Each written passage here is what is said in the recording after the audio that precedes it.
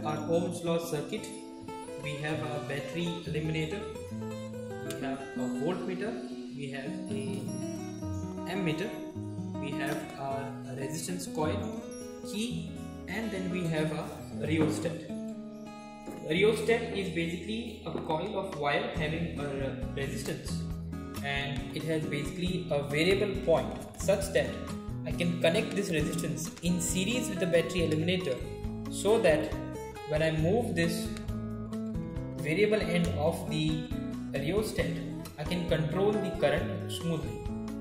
So I'll keep a fixed voltage of 4 volt which is giving me a specific amount of current and that current I will vary smoothly with the help of this rheostat. Then I have my voltmeter connected across the resistance and then I have my ammeter connected in series with the circuit. Let us understand the circuit starting from the positive terminal of the battery eliminator. The positive terminal of the battery eliminator is gone and connected to the positive of the ammeter.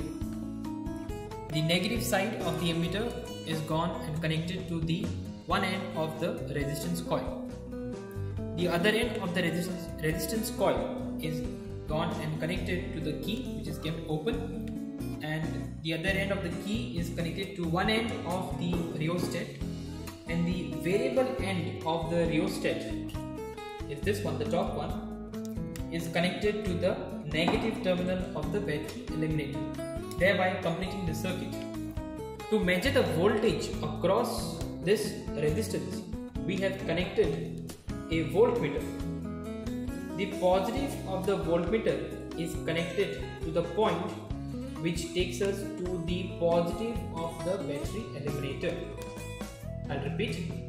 The positive of the voltmeter has to be connected in such a way that that end of that wire should connect back to the positive of the battery eliminator and not the ammeter the other end, the negative, will be connected to the other end of the resistance such that that end should go all the way to the negative of the battery eliminator. If you do this, then both the needles will move in the proper direction and give you the readings. So let us now try to perform this experiment. So I have my key, let me plug it in and have a look at the voltmeter and ammeter what is happening. Can see a slight movement and you have got some readings on the voltmeter and ammeter.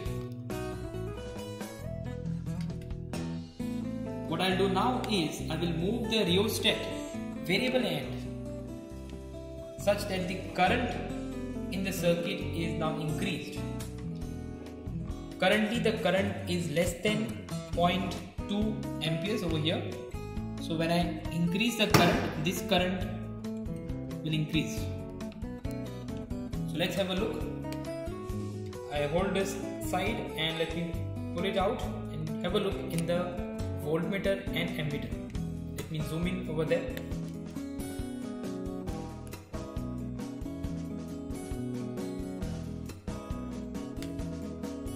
You can see that the ammeter reading is increasing as well as the voltmeter reading also